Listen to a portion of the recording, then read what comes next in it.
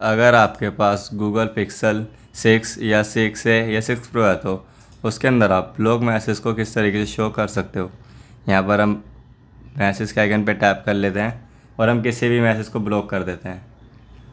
यहाँ पर ब्लॉक करते हैं। तो जैसे हम ब्लॉक करते हैं तो हमारे यहाँ पर एक ऑप्शन शो होता है रिपोर्ट स्पैम तो हमारा रिपोर्ट स्पैम का मतलब होता है कि आपके पास कोई फ्रॉड कॉल आ रहा है या आपके पास कोई ओटीपी भेज रहा है या क्या कहते हैं फ्रॉड कॉल के लिए ओटीपी मांग रहा है। तो आपको इसको क्या करना है, इसको ऐसे कर देना और ब्लॉक कर दोगे जैसे ही तो आपका वो ऑटोमेटिकली ब्लॉक तो हो जाएगा। साथ में आपके आसपास पता लग जाएगा कि ये बंदा स्पैम कर रहा है, यानी कि ये बंदा फ्रॉड है। तो इसको कर दोगे, अगर अपने फ्रेंड या भाई कर रहे हो तो ये मेरा फ्रेंड है तो मैं क्या करूँगा, इसको अनचेक मार के और ओके कर दूँगा।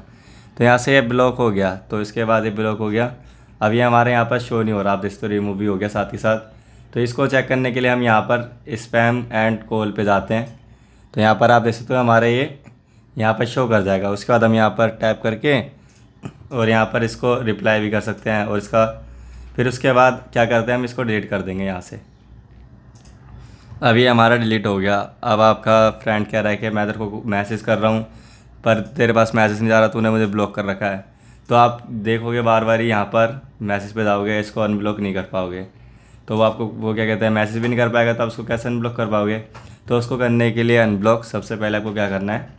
डायलर पे टैप कर लेना है। जैसे डायलर पे टैप करोगे ना थ्री डॉट पे टैप करने के बाद आपको सेटिंग पे टैप कर देना है। ब्लॉक नंबर्स टैप करोगे। ये देख सकते हो आप, यही नंबर था मेरा। जो मैंने मैसेज को ब्लॉक करा था यहाँ से इसको अनब्लॉक कर देंगे। तो आपको यहाँ वो नंबर था तो आपको लग रहा होगा ये नंबर है, मैं गलत बता रहा हूँ। तो ये आप देख सकते हो, ये है। इसको मैं ब्लॉक कर देता हूँ यहाँ से। इसको ऐसे कर देता हूँ। ब्लॉक करने के बाद, यहाँ पर जाने के बाद डिलीट भी कर दूँगा। आप पहले से पढ़ लो क्या लिखा हुआ उधर। जे के बाकी नंबर है। तो यहाँ पर मैंने डिलीट कर दिया। अब मैंने आपको बताया डायलर पे टाइप करना है। थ्री डॉट पे टाइप करने के बाद आपको सेटिंग पे टाइप कर देना है।